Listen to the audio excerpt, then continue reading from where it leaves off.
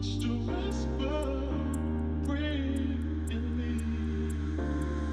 天我帮雨熙设计了两款彩妆，一款是日常的，一款是夜晚的。第一个妆容，我是利用水嫩的玫瑰感，有点珠光的感觉的粉红色系，在她眼部做呈现。唇部的上面，我也是利用带有点水润感的粉色的玫瑰色口红，帮雨熙打造出一个比较水润感的口红的颜色。第二个妆容的部分，其实眼睛我没有做。